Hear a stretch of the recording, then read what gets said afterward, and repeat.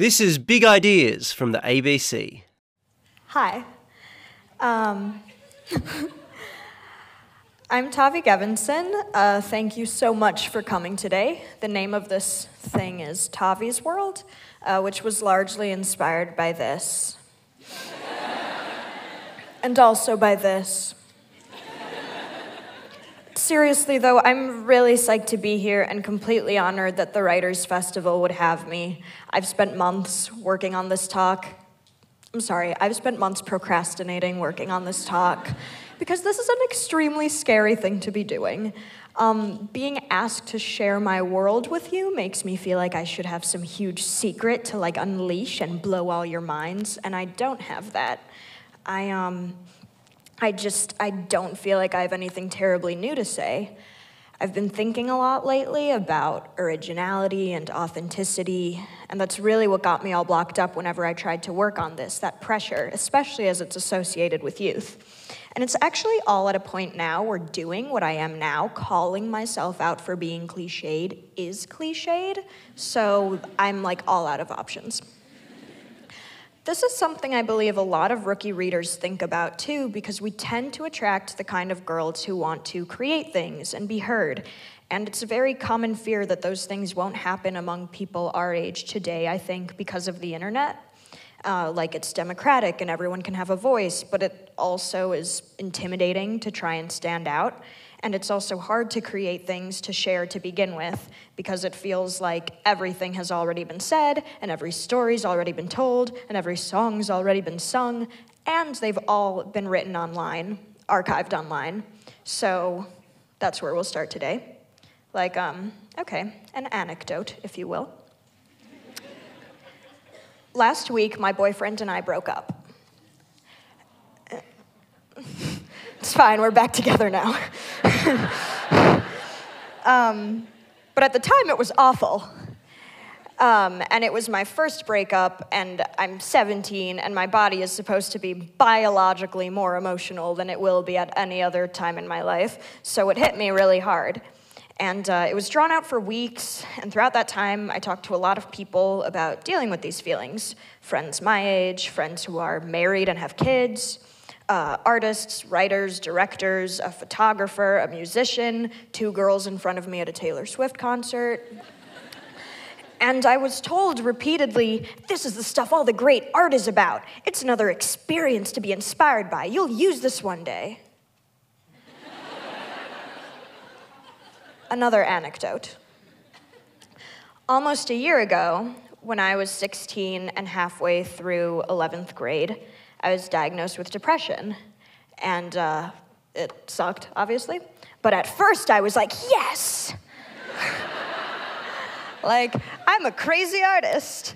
I have the seal of approval from the 27 Club, and I'm gonna compete in the Tortured Olympics. And the harder I make things for myself, the more legit my art is. Sidebar, there's a really good book about the crazy artist myth and mental illness called Marbles by Ellen Forney, and I highly recommend it.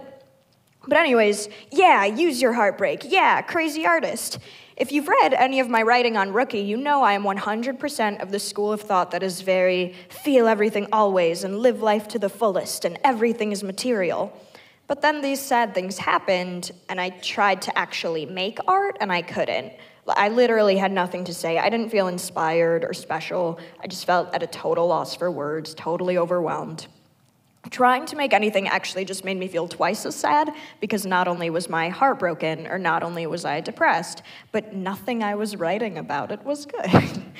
uh, like, none of my metaphors were unique, all of my imagery was really cheesy. Um, I continually read over what I had so far and felt like I was reading a teenager's diary on a sitcom that was filled out by the middle aged props master named Jeff. I was not being original, and this drove me nuts. And I have a deep rooted inferiority complex about being original because I wouldn't have a public life, a creative life. I wouldn't be speaking to you now if not for the internet. And something about that has always made me feel a little impure. Um, not only because what I do wouldn't get exposure in a pre internet world, but also because I wouldn't even be doing it.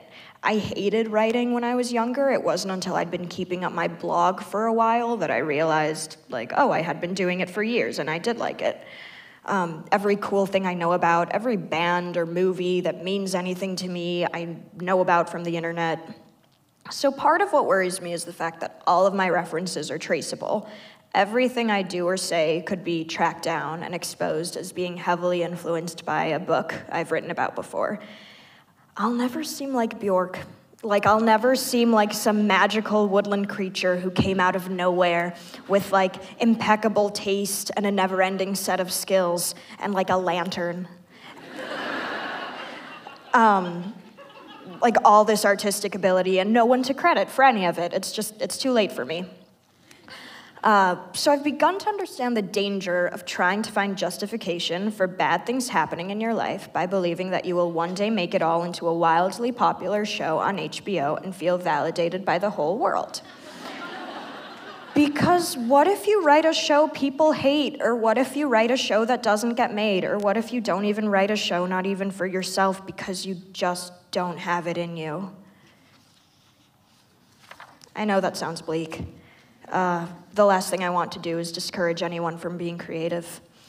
But this is not about not being creative, original, ambitious, or finding release.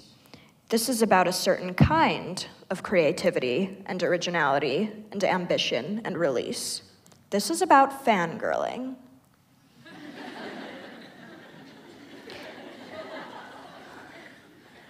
I know if you're a rookie reader, you might know what I'm talking about when I say that teenagers are consistently told to be bold and be unique and Lady Gaga and own whatever it is that makes us special. And yeah, absolutely own it.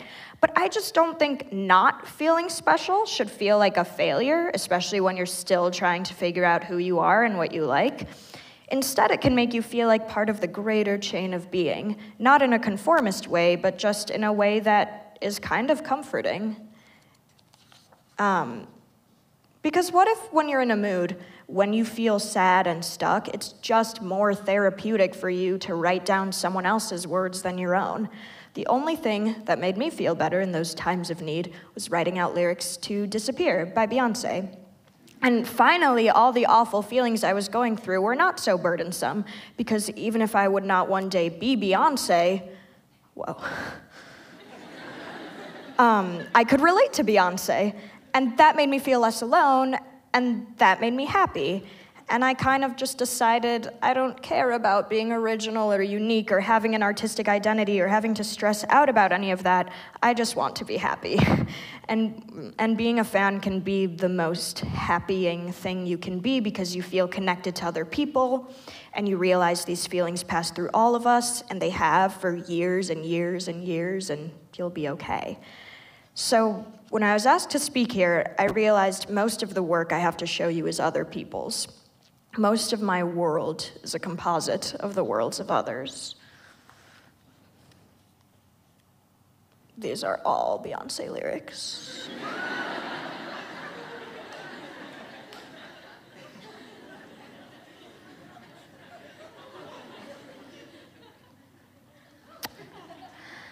I've just sort of always been more satisfied this way. Uh, I started a fashion blog when I was 11, you heard about that, and um, I went to Fashion Week for a few years, for quite a few seasons, and it turned out that I was just happier looking at style.com in my room. It was so much more magical, you guys. And it's not that I'd had bad experiences in fashion, but when I look back on that time in my life, I have so few memories of it. Like, I really have to dig for them. And all the special stuff that comes to mind first that really shaped me was, you know, sitting on my bed and reading magazines and feeling like I was getting a secret message from another planet. And I think if you are able to eliminate economies like fame or a conventional idea of success, you become really comfortable with your own level of ambition as a content observer of things. As editor of Rookie, my job is really to curate, to find talented people to tell their own stories so this fangirling thing works out for me on a professional level. Like I consider part of my job to be a professional fangirl. But it's also kind of become my personal religion and how I see the world.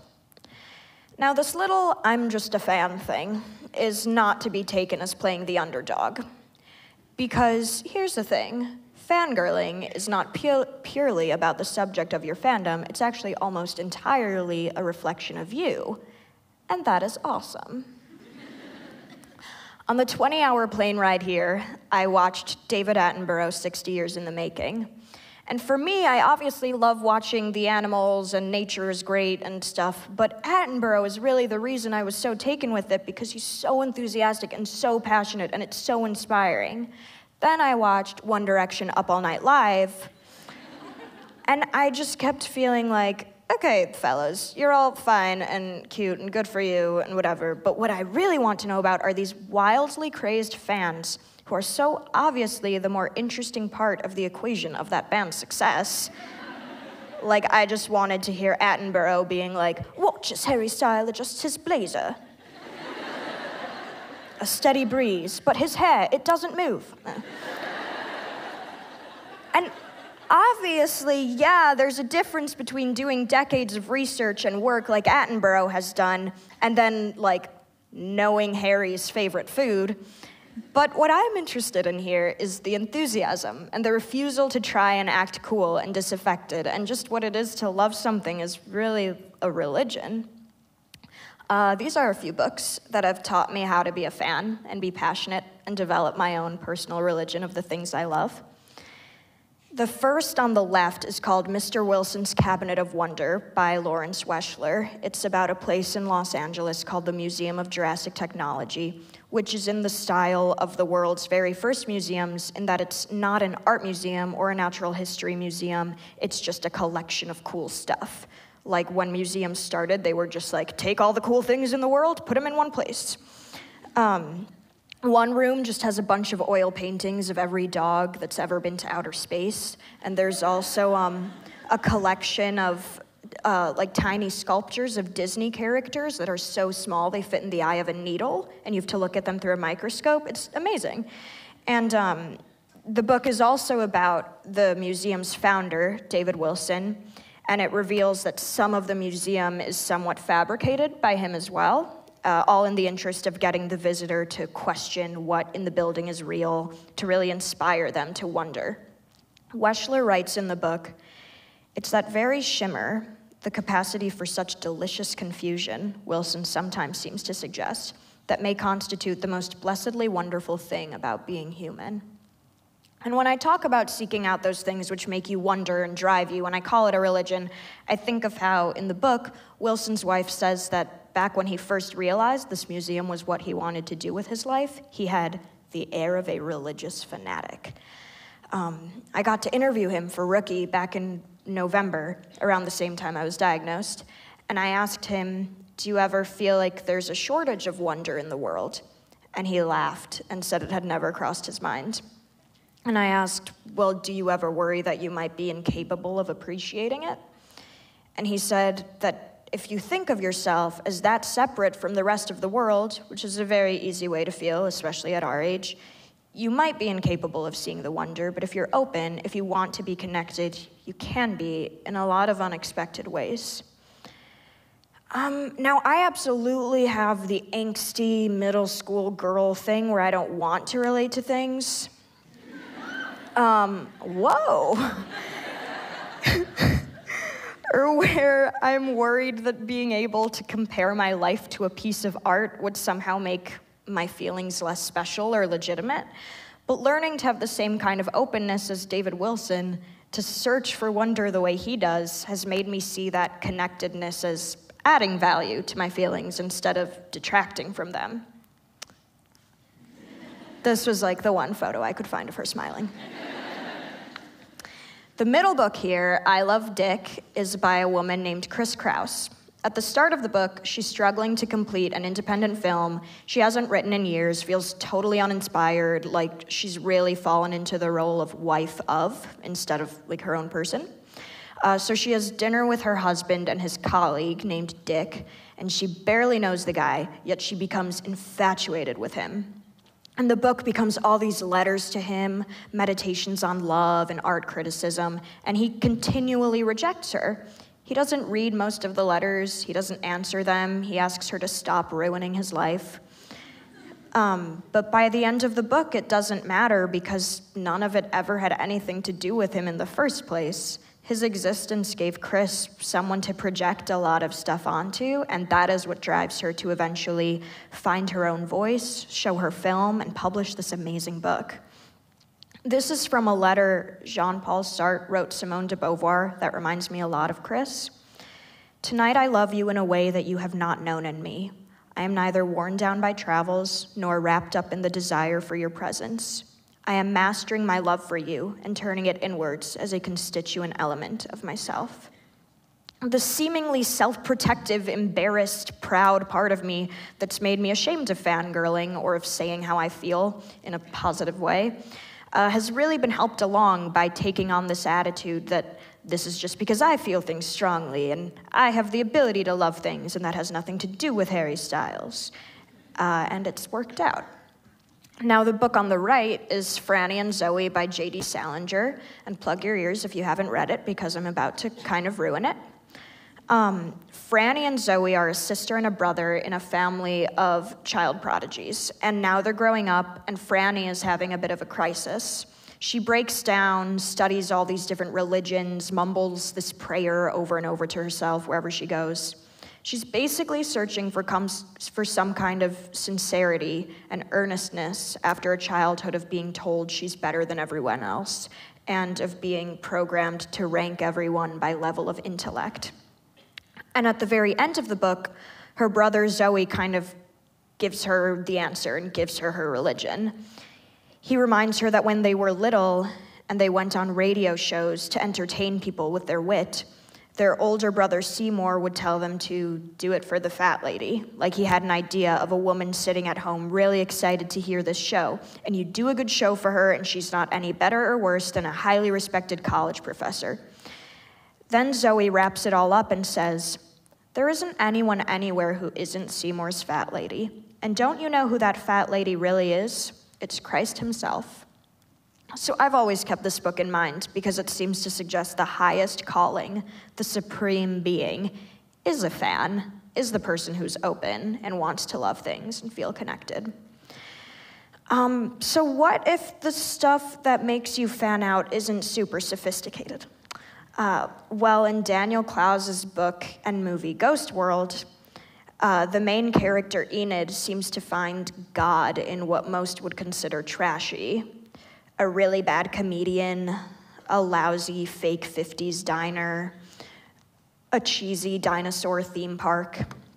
There's a wonderful essay about this by Joshua Glenn in the Daniel Clowes Reader that I unfortunately can't just repeat word for word because it's perfect, but it pulls together all these interviews and parts from other Daniel Clowes books to prove the validity of trash culture, like all the stuff Enid likes, or comic books, or really bad science fiction. Enid is not a jaded hipster who loves this stuff ironically. She sees a genuine earnestness and humanity in it all, and that keeps her from becoming jaded. I mean, just look at John Waters. He's the happiest person alive. and he loves a lot of trashy stuff. Um, a book and movie that's also helped me for my personal religion is The Virgin Suicides. It's uh, narrated by a bunch of grown men trying to figure out why these sisters they used to crush on from afar as teenagers all killed themselves. The worship here goes two ways. One being that the girls have strict parents who keep them trapped inside, they even stop going to school. And so any sign of the outside world, like rock records or travel brochures, becomes their source of magic and wonder and faith. And the other worshiping happens in how the boys idealize these girls till they barely exist. Um, Roger Ebert pointed out that this makes the story much more about the boys than most people realize. Ebert wrote, when the Lisbon girls kill themselves, do not blame their deaths on their weird parents. Mourn for the passing of everyone you knew and everyone you were in the last summer before sex. Mourn for the idealism of inexperience. In other words, mourn for the idealism of loving things from afar, um, being a fangirl. There's one scene in the movie that always gets me where one of the sisters and her date win queen and king at a school dance. And it's the happiest she'll ever be in her short life because later that night they do have sex and he leaves her there on the football field and the idealism of inexperience vanishes. But first, they go up there and balloons fall down and they get their crowns and the song Strange Magic by Electric Light Orchestra plays. And it's just so the perfect, earnest, sad 70s suburban symphony. So, strange magic has become shorthand for my own wonder or fat lady or dick. Um, shown here is a 100 page zine I made that I have hardly ever shown to anyone about all of this stuff. Um, this is one spread of a list I keep in one of my journals of moments of strange magic, organized by real life, and then fiction, and then imagination. Um, last summer, my friend and rookie photographer Petra Collins and I made an installation at Space 1520 in Los Angeles, also inspired by all this. We took a road trip with other rookie staffers from New York to LA and held events with our readers in 16 different cities and asked them to bring us a piece of strange magic of their own. So we got friendship bracelets and pictures of friends and CDs, and we added them all to a bunch of junk of our own to create kind of like our dream teen bedroom.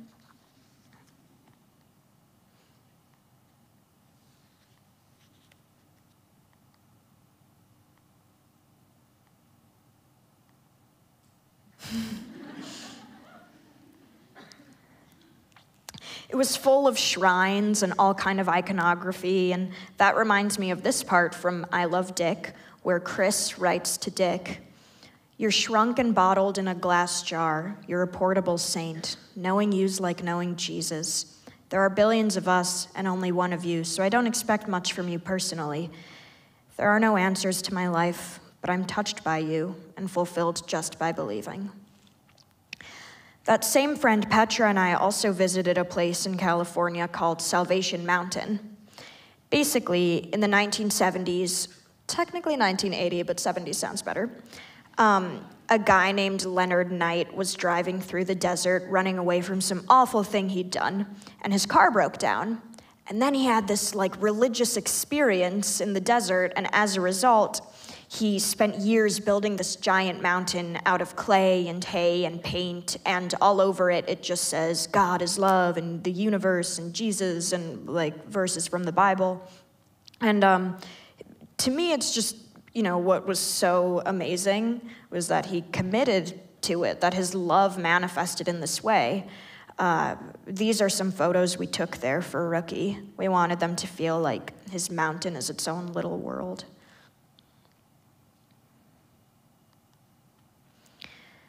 When I started becoming a fangirl, I began seeing the world through the eyes of other people in a very thrilling way. It just satisfies some hyper obsessive part of me to be able to kind of catalog something like a song, to turn emotions into a kind of math.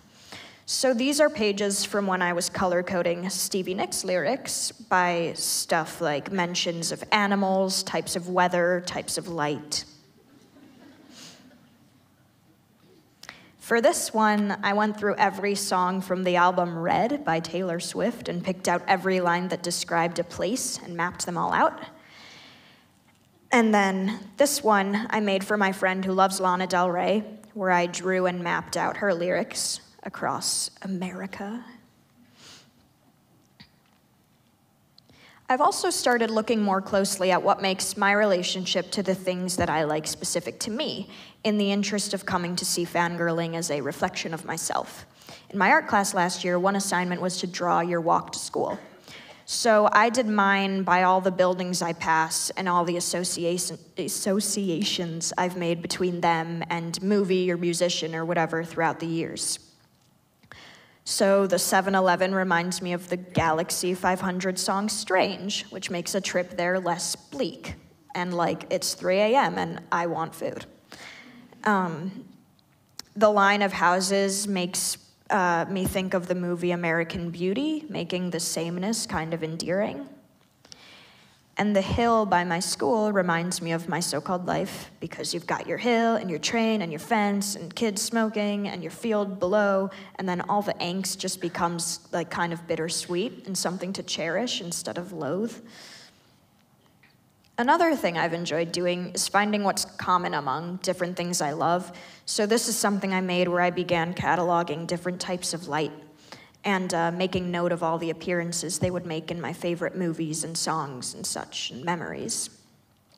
Note cards turned out to be an easier system for this, and I've also started decks for cataloging uh, like types of plants and buildings, but I'm most attracted to light because of what it means in most literature. It symbolizes some kind of truth or faith, like strange magic, if you will.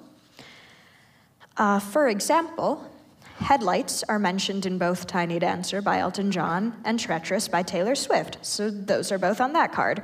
Or for glow, I have a note about Ghost World because I read that Daniel Clowes printed that book in that one light blue color because he wanted to recreate that eerie glow that comes from TV. I also have down a personal memory of people watching with my boyfriend and marveling at the glow in all these different apartments across the street.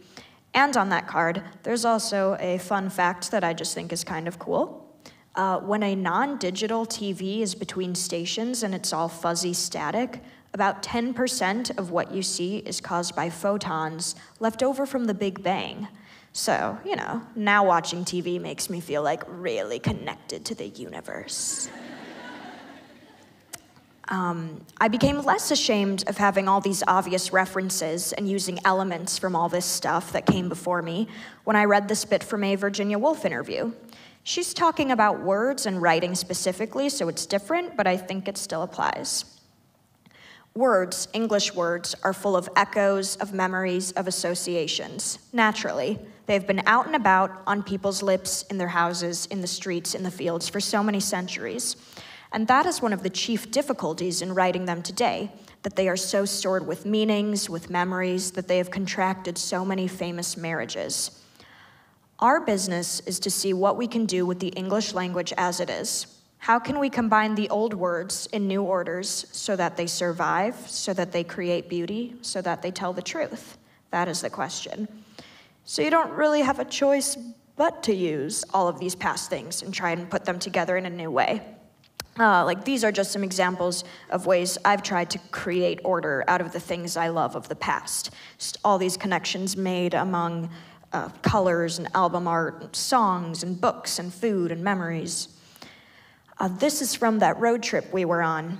Uh, we were listening to the Rolling Stones and we passed a sign that said Red Lion Road, which made me think of their song Ruby Tuesday, which made me think of that song where that scene where that song plays in the Royal Tenenbaums, where they're sitting in a yellow tent and um, they're like surrounded by this wallpaper that has lions and other animals on it. Then we passed a bunch of little rainbow buildings that kind of looked like circus tents. And the rainbow part also made me think of the Rolling Stones song, She's a Rainbow. So it all kind of came together, and I felt like I was seeing an embodiment of their music all around me, and it was really cool and not at all affected by like three weeks of being in a car. Um, this one's like too complicated. I don't. E- it's like trying to read your own handwriting. I don't even know, but there's more. Um, with my journals, it's been largely satisfying to make each one feel like a catalog of a specific world made up of all these different associations that seem to go together. And for the period of time that I'm using that journal, I'll make everything in my life match it my handwriting, my outfits, the music I listen to, the photos and drawings that might go in the diary. The way I used to use my blog and personal style as outlets for playing with identity and feeling like a new person, now I put all of that into just everything. And having some kind of aesthetic parallel for whatever is happening in my life at that time can make it feel like it makes more sense, or like there's a place for it in the world, or like it can even be beautiful. Like when I was depressed and then I had to start changing the way I think, I made my journal feel like a scientist's notebook. Or when I had boy drama in 10th grade and sort of learned the virgin suicides lesson that like crushing is more fun than that other stuff uh, my journal then was all like sad love songs from the 70s and glittery pink childish daydream stuff. I realized recently that when we think about personal identity, when we imagine ourselves, we picture ourselves from the outside.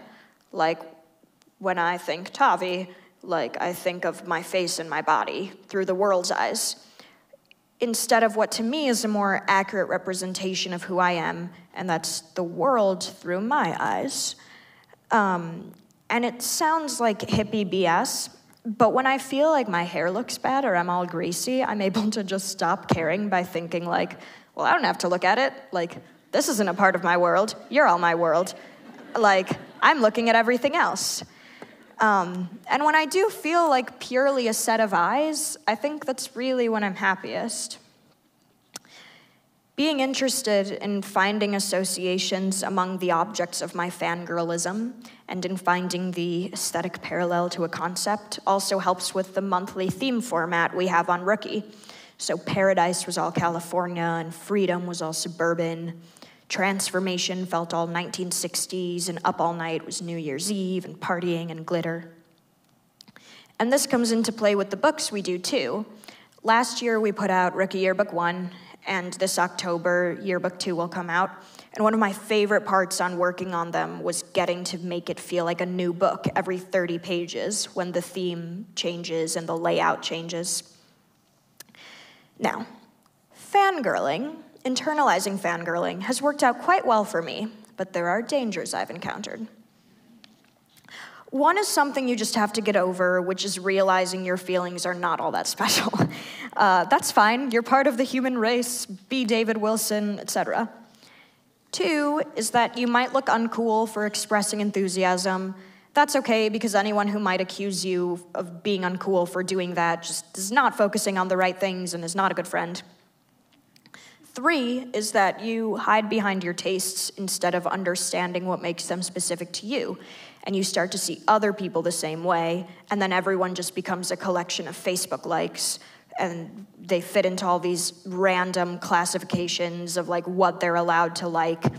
And that's no fun, and it takes nuance out of everything. So let others like stuff the same way you like stuff unto you. mm. um, Four is that you want to create your own art, but you get all stifled because you feel so intimidated by all the stuff you fangirl over. You feel like you could never live up to all your influences, so you just give up entirely. Um, there's a really good TED talk about this called Pressure Power Punk Rock, where this girl, Emma, talks about loving punk musicians so much that she was too scared to even try and make her own punk music. And she wraps it up really well with uh, a saying from the punk community kill your idols.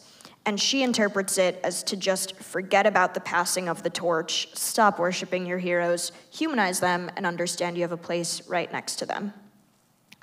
The fifth danger is that you become really obsessed with an artist or writer or whatever, and you worship them and you take their word as gospel, and then you grow out of it and feel stupid, or you realize they are a total asshole.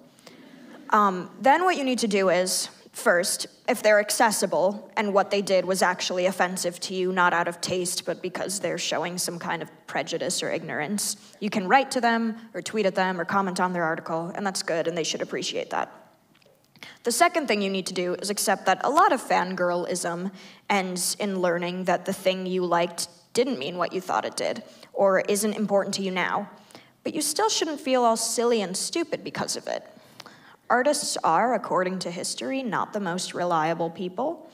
And um, meaning changes, it's malleable, it's interpreted differently by everyone. But the truth you once saw in a poem exists not in like a thorough analysis of the words on the page, but in the moment in which you felt like you received a gift of clarity and comfort from the universe. It lies in the magic of the coincidence that you should come across this work at just the right time. A couple weeks ago, we had a rookie event in LA where I interviewed Rashida Jones. And one thing she emphasized about growing up and getting to know yourself is the importance of understanding just how much your feelings are a reflection of you and not of other stuff. She said, When you have an idol, you're like, oh my God, I think that person's so amazing. And then you find out they're horrible. And you're like, oh, right, because the reason I think that person is amazing is because they're reflecting something amazing in me. When you love someone, you're the one who's doing the loving. You're the person who's great enough to give that love. It's not about that other person. Again, let me remind you. At the beginning of last summer, pre road trip, pre diagnosis, pre breakup. I was in a mood, duh. And I was like, I, was, I couldn't get through a normal conversation with anyone. I was kind of just a mess. I, none of my pop culture tools were even working because everything was just too much. Like, it was like, I can't handle the virgin suicides right now. Um, and I just have this memory of lying in my parents' bed and this soft yellow light coming from the lamp on the floor over in the corner.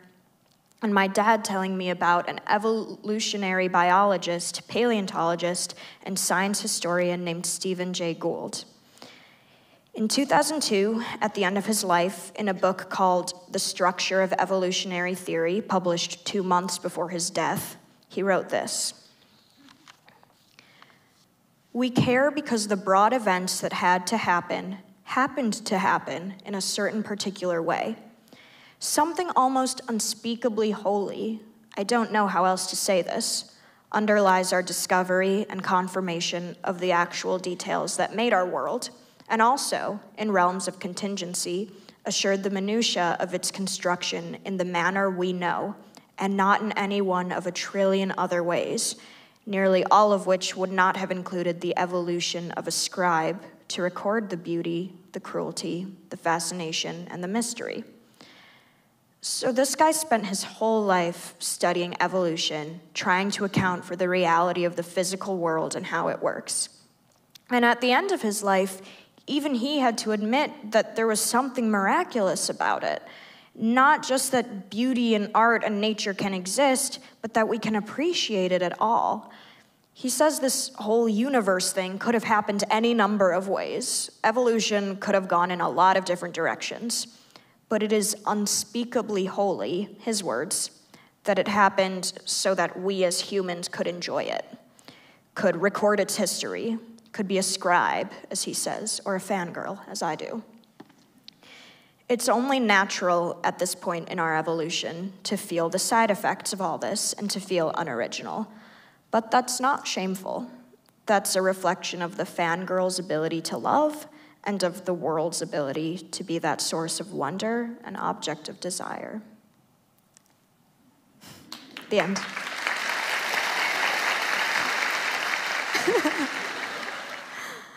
um, speaking of fangirling, um, I have to tell you that when you were first confirmed as one of the guests of the Melbourne Writers Festival, I immediately got about 13 text messages just, oh, cool. and they were all just, Tavi! like capital letters, 17 exclamation marks. Um, and they were all from women my age, which I think is interesting. so you've got a, you've got a pretty big, um, broad fan base. How do you feel about that? I think it's nice. Uh, like once there was this article that was like, "Hey, creepy adults, stop using Rookie to live out your nostalgia." and we were like, "We don't make the teenage experience seem like a wonderful thing." I think women in their 20s or older read it because a lot of those things are universal. Like I have a theory that a teenager is just like a caricature of a real person. Because you feel everything extra strongly and you are experiencing everything for the first time. So I think people still deal with the stuff that we do. Yeah. Um, like throughout their whole lives. It doesn't get better.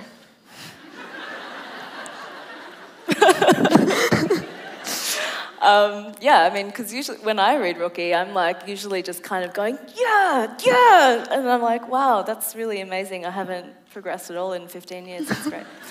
Um, so, Tavi, you've been in Australia for about a week now, is it? Um, and I heard you visited Hanging Rock. How was that? Uh, it was beautiful. I went with my friend Brody and a rookie illustrator, Minna, and uh, it was gorgeous. We saw a rainbow. We did not slip into another dimension and disappear. Um, it was a successful trip your clothes like stayed the same color. They didn't yeah. like crazily go red somehow right. to illustrate something weird that happened. That's good. Um, and uh, what else have you been up to? Uh, hanging out. Uh, did some shopping today. Um, we're, yeah, shop. um, I think she, I think she said where. Oh, I thought you were just like, yeah, shopping. um, Alpha 60, Kinki Gerlinki, Alice, Euphemia, and some vintage stores. Um, that would have been really weird if you were just like, woohoo, shopping. uh, yeah, no, shopping, seeing friends, working on my talk. Yeah. Yeah. I think, yeah, I think now like every teenager's like, see, Tavi went shopping, mum, I can go shopping now. um, and yeah, so I wanted to ask you a little bit more about fangirling. So you talked a little bit about um, a few books that you really love. Um, and we know you're a big Taylor Swift fan. And you talked about, you know, One Direction and Justin Bieber um, and all the men who have hair that is long. Um, what other obsessions do you have at the moment? I have so many. Um, probably like the three albums I listen to at least once a week are Red by Taylor Swift, My Beautiful Dark Twisted Fantasy by Kanye West, and Fleetwood Mac's Rumors. Those are probably my staples. Um, but I don't know. I've been watching Inside Amy Schumer and New Girl and Mindy Project. Um, I haven't really. Oh, I just I got into Joanna Newsom recently. That was an experience. Um, she goes with Bjork as one of those like magical people where you're like, where did you come from? So yeah. I heard a story about Joanna Newsom that I think her father is a literature professor, um, and when she was little, like they'd play a game, and it wouldn't be like tag or whatever. Her dad would um, put a little a, a pin or a different word to each tree, and she'd have to run to each tree and make a poem about the word that was on the tree, which actually explains a lot about Joanna Newsom. If you know. Yeah. if you had told me like make up a story about Joanna Newsom, I would have said just that. Yeah, so that kind of makes a lot of sense. Um, and have you? I had a rumor that you you've seen Summer Heights High. Is that true? Have you seen? Yeah, I was. I kind of wanted to do like when Ja'mie is at the assembly, and she's like, "Oh, how did my modeling pictures get in there? Oh, that's so embarrassing." I like wanted to do that as a joke, but then like some people would get it, and everyone else would just be like, "You are the worst." so I let that one go. Yeah, I can't imagine anyone's walking away from this going, "Tavi's the worst, you guys." Um, so, okay, so we noticed in your really amazing uh, presentation, you write a lot of lists, and apart from that, you're also an editor in chief at Rookie. You're a writer, you're a sometimes stylist, and an actress. Um, so it seems to me, who's a chronic napper, that you get a lot done during the week. Um, and you're also going to high school. So I think, you know, on a personal level, I'd just kind of like to know how you do everything so that I can maybe take some notes and Um, I have been told that the trick to not procrastinating is to have so much to do that you can't. So that's part of it. Um, that being said, I also make time for relaxing, but I like understand the urgency of it. I think I've just had too many incidents where like everything's gotten to a really bad point and I've just kind of like broken down that I know now the urgency of only doing things that are important to me and like taking care of myself when I do get stressed out. So I don't like, I'm just not, you know, I have really wonderful friends and they, we always have a great time and they mean, they make me feel good about myself and I don't do any of the like social high school stuff that makes me feel weird that like everyone still feels obligated to do. Or you know i do my rookie work but i really do kind of have to filter the opportunities that come through or like see what i'm really passionate about um, yeah you just i think you just have to like really zone in on what's important. And the, and i think you realize that the more you resist the urge to do stupid stuff like check facebook to hate people um, like the more it becomes the easier it gets like it becomes less and less of an impulse to check facebook the less you do it which is so simple but took me so long to figure out. So i guess that's it Yeah, and not to be weird about this or anything, but so i'm so um, excited how did they let this stalker on the stage? Um, you, um, but let's break it down. So you go to school, kind Yeah. of normal school hours, and then you come home and you kind of do work for a couple of hours. Then you, you know, Yeah, I'll well, um if I want to hang out with friends or whatever, like just not be home, I'll like check my email on my phone and if nothing is urgent, if I don't have a pressing deadline, I will do that. Um but when that doesn't happen, yeah, I'll like go home, check email, probably work for a couple hours, relax, do homework somewhere in there. Um I don't, I mean, I have, I've managed to bargain a few study halls during the school day. Uh, I don't know. I mean, I, I started my blog when I was 11, and now I am kind of, at first I was like, this isn't work, that's just fun. But like writing something every day is work, it takes up a lot of time. So I think I'm just kind of like in the routine. Not that like child labor is good, but I, I guess because it's like been part of my development. I just get things done. yeah. Um, and speaking of school, is it true that there's a class at your school called Feelings? Yeah. I will not be taking it. Um, I mean, it, it it's a, I think it changes a lot of kids' lives. I know the teacher because he's been like a family friend since because my dad worked at my high school. So I've known him since I was little, and then I was in a play at school that he directed. But I just don't want to talk about. I I talk about my feelings enough. So Your whole life is feelings. it's true. So, um, as a lot of you probably know, you did a great TED talk about how teenage girls and people, by extension, are contradictory creatures. Um, and you're a really visible spokesperson for all things teen. And I'm sure you get asked for a lot of advice by teenagers. Are there any questions that you get asked a lot? And what advice do you generally give?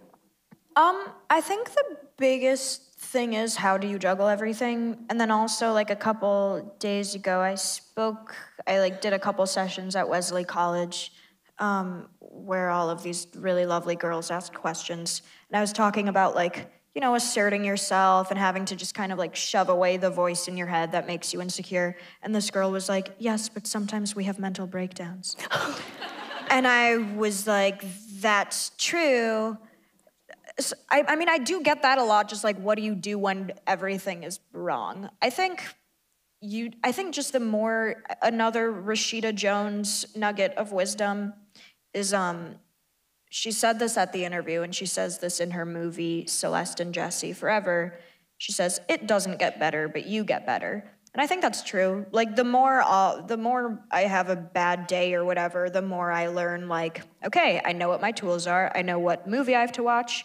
I know like which friends to call. I know like how many hours to spend eating in bed watching TV. Like you just kind of it's all just getting to know yourself, which sucks because then by the time you know yourself as fully as you possibly can, like at the oldest you can possibly be, you die but I will be fine. Real talk. Uh, Rookie's such a great publication, and people really respond to it. I know I respond to it because it includes so much writing and so much artwork that's so personal. Um, you also write for the site, and obviously tonight you shared a lot of really personal things with us. Um, how do you decide which parts of your life to share with the public and which parts to keep private? I think um, for me, I find the plane on which people relate to each other is feelings more than it is experience.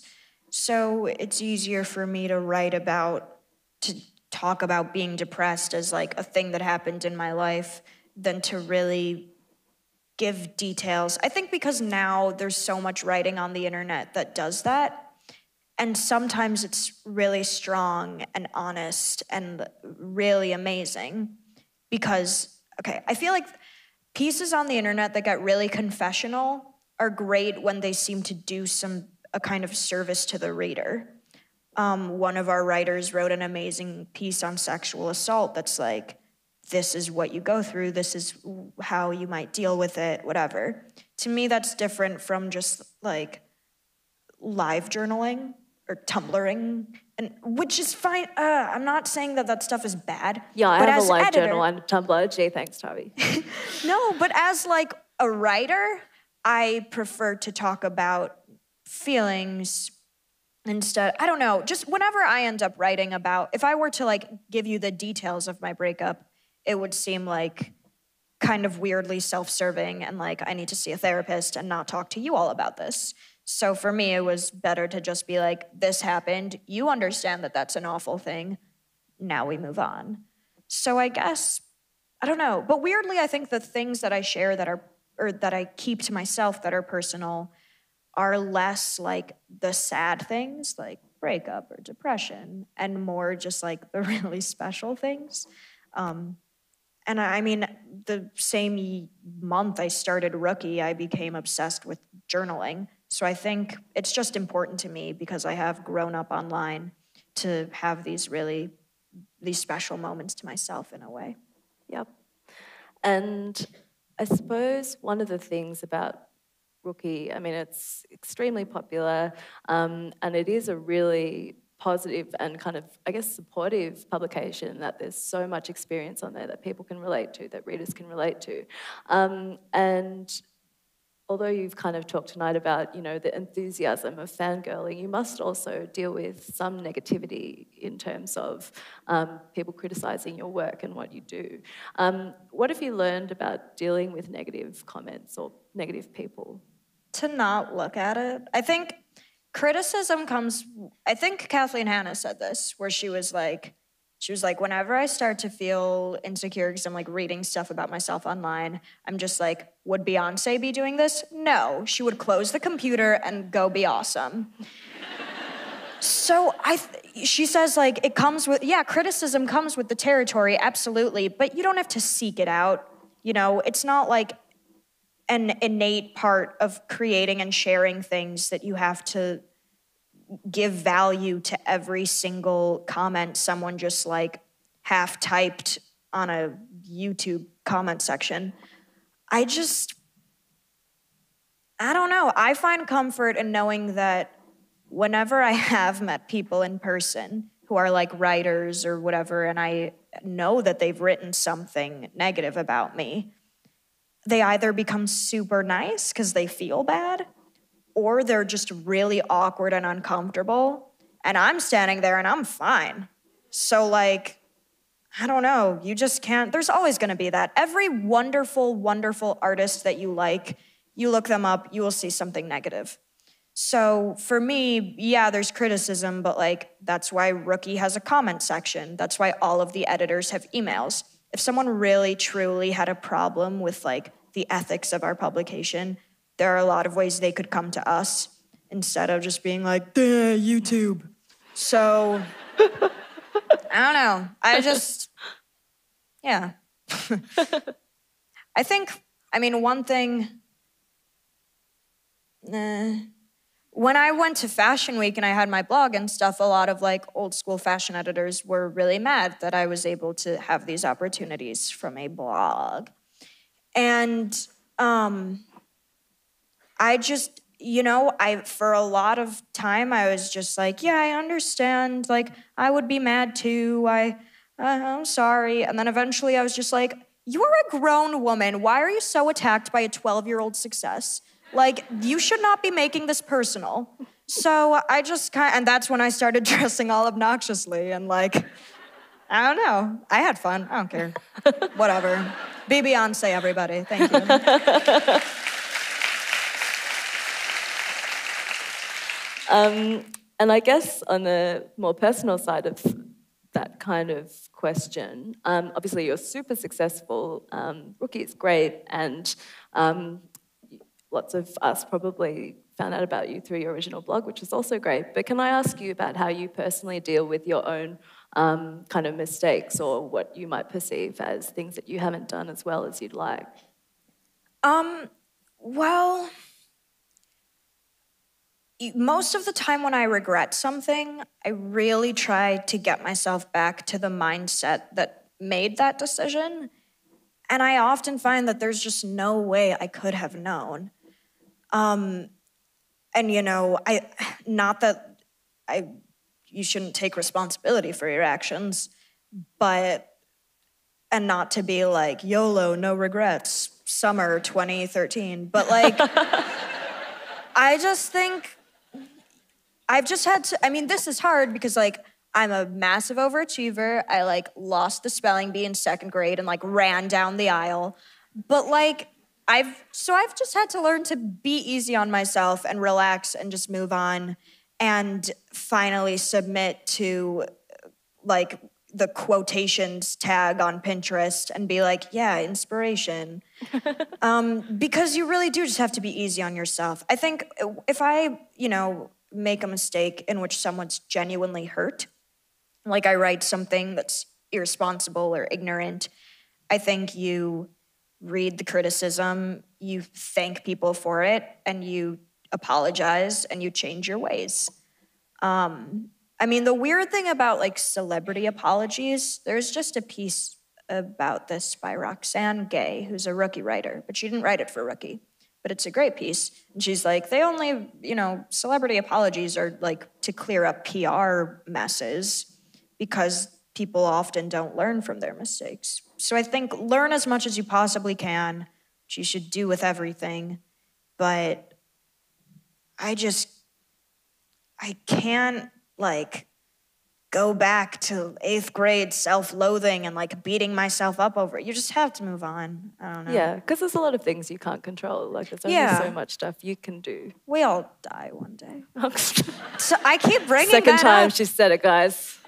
It's okay. Um, David Wilson, the guy from the Museum of Jurassic Technology, he over like a doorway in the museum, they have memento mori, I think. And when I interviewed him, he told me about this philosopher who was like, "We should be reminding ourselves of death at all times." And it seems morbid, but it's just so that you do make, you know, prioritize the things that make you happy and are important to you and can kind of let go the daily embarrassment of being a human. So, Yeah. Or sorry. that's all right. Just do what I do. Imagine the person you hate the most doing a poo. Um,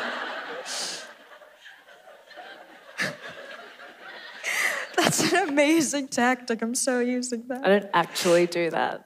Get me to it.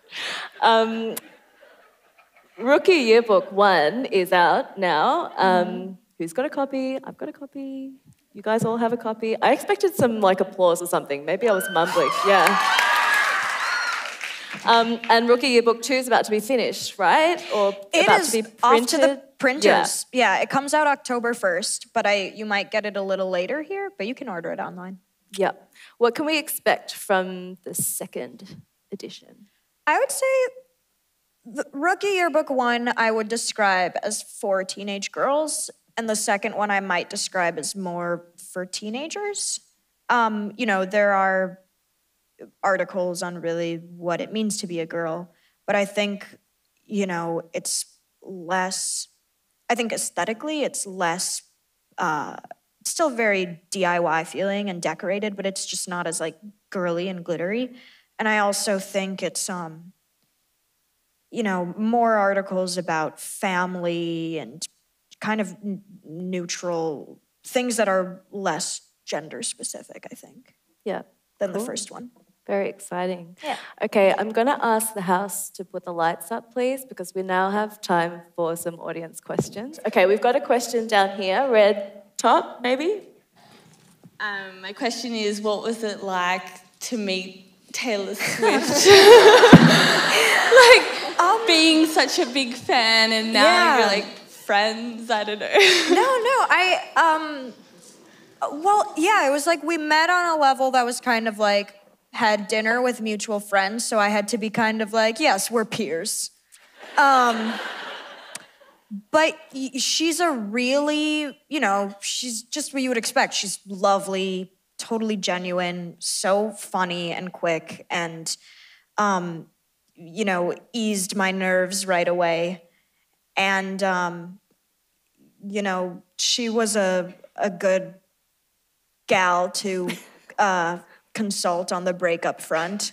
like her music and her words of wisdom. Um, so yeah, no, but I, I have to really, you know, there's no gross, non-gross way to talk about this. I'm sorry, but as we have become friends, um, I yeah, I don't know that thing. That stuff just kind of goes away, and you separate it more because even though I think she's you know really a very similar person in both sides of her life. Um, there is like the fangirling thing that creates this different person. So that just doesn't really, that like had to go away. That's okay, because she's a wonderful person.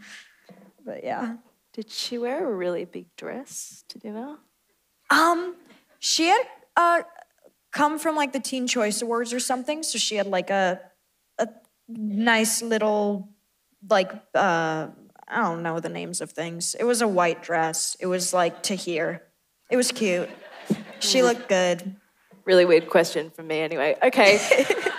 Hands up again. Anyone's got a question? Um, I have to ask about your cataloging, and I don't really know how to phrase this question, but um, I read on your blog once that it was sort of a way of making you said that if you didn't create sort of something tangible, it was like something hadn't happened. Right. Um, was that the start of it, or like, I know one of the first things I do when I'm creatively stunted is I create a list, like just sort of what is your motivation behind the cataloging?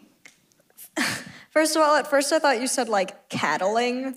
And I was like, I am so sorry. I thought you were coming to a farming convention. Oh. yeah, no, I, uh, well, yeah, no, I always go back and forth between being like, um, ugh, like there's a part in the finale of Six Feet Under where a girl is about to take a picture of the family for the last time.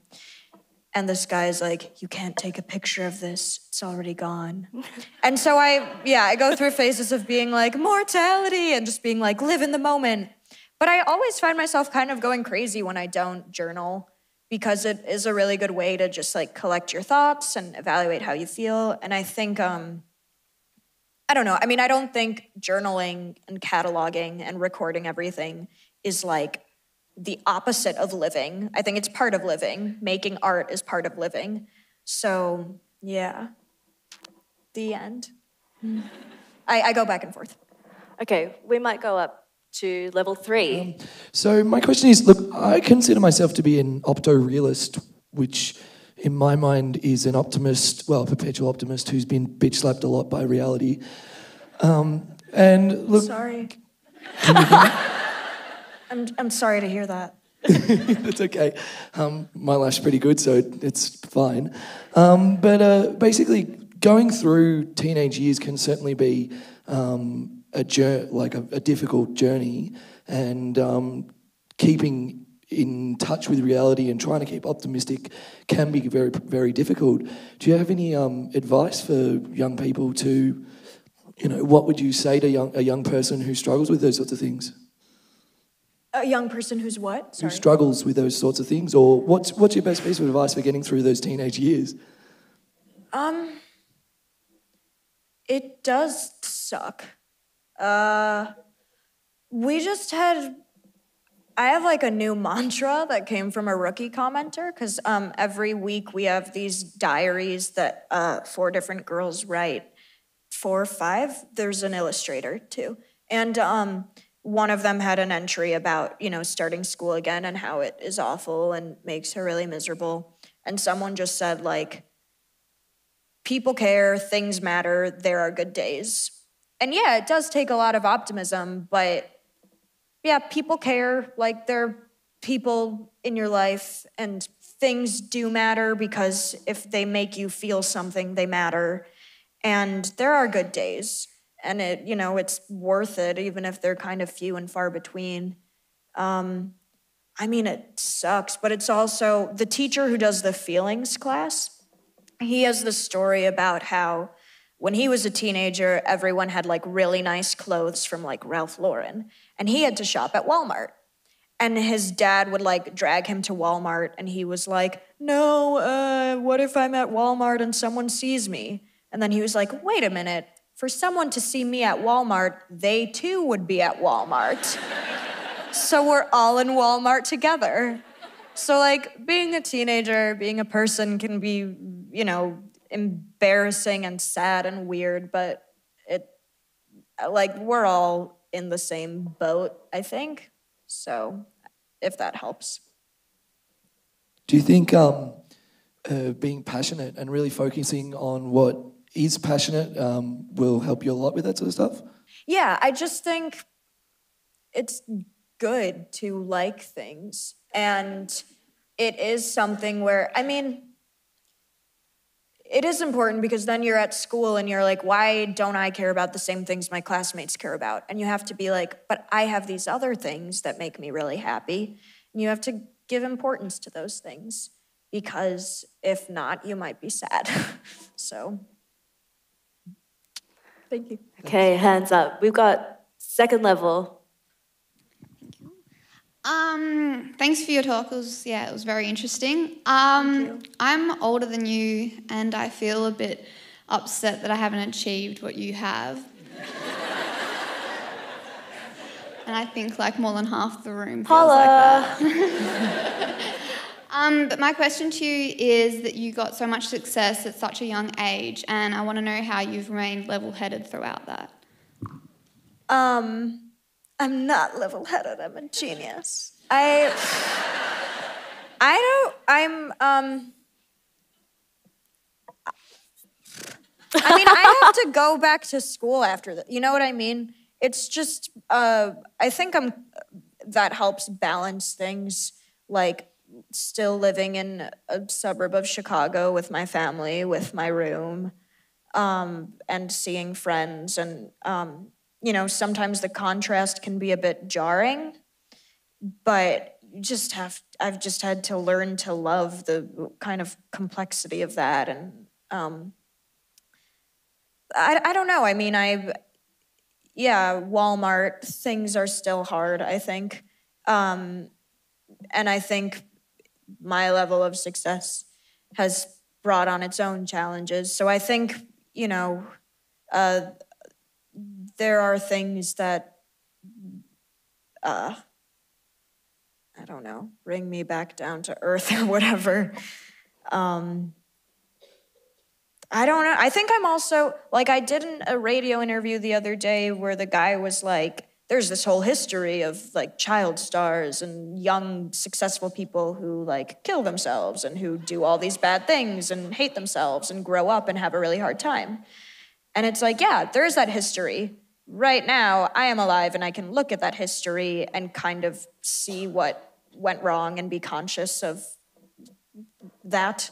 So uh, I just try to think about things and not be rude to people. Um, where's where's Steve Gevinson? Steve Gevinson's Tavi's dad, and uh, I don't know. Have you guys all seen the Ask a Grown Man segment where, yeah. So Tavi, do you ever just say to Steve sometimes, like Steve's like, Tavi, can you clean your room? You're like, um, I don't know, Dad. Uh, did you know I'm like the future of journalism? Do you ever say that?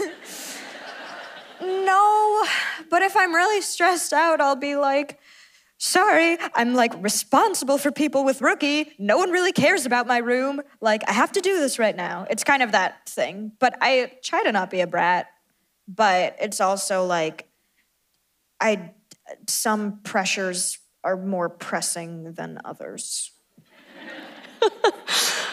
Um, okay, so we've probably got time for one or two quick, more quick questions, but just a reminder that um, I know you probably all want to have a chat to Tavi. She'll be signing books outside afterwards in the auditorium, so you will have a chance to say hello to her then. So yeah, just down here, um, maybe this row down here. Hi, Tavi. Um, I just wanted to know what are your ambitions for the future and your goals? Say, for example, when you're 30 or something. Um, I have recently. what? I didn't hear that. Be cool. Oh, I just said I'm 30. Be cool. Oh, oh, okay. Um, I, I've recently been admitting that I have a folder on my desktop called World Domination. But I also, at the same time, it's like, you know, when I go back from this visit, I will be starting my last year of high school. Then I'll take a year off, and then I'll go to college. And I have no clue. I, I feel like I could, I, I really don't know. I just want I just find myself experiencing things like with fangirling, where you're like, oh, everything I should do, I should work every day towards maintaining this feeling. And um, sometimes that seems to align with continuing with what I do now. And sometimes it seems like the right thing is to go to college and like study and be alone and away from things. So I really don't know. okay, we had super quick put hands over there. Um, loved your speech. It was awesome. I just wanted to say I really liked, um, and I could really relate with the part about relating to light um, when you're watching sort of cinema or reading books and different ambience, I guess. Um, and I was just wondering if you've seen A Single Man by Tom Ford, because I haven't seen that one. in there, I really relate to the fact that when he has really beautiful memories, he, like Tom Ford, makes the scene light up in like golden glow. But that wasn't actually my question. um, I also love Beyonce, probably as much as you do. Um, and I was wondering if you'd like to come back to Australia. Would you like to come back to Australia later on this year when I'm having a Beyonce party? Please do. so much, but I just don't know if it's realistic. But would I like to? Yes. Can I? I don't know. But thank you.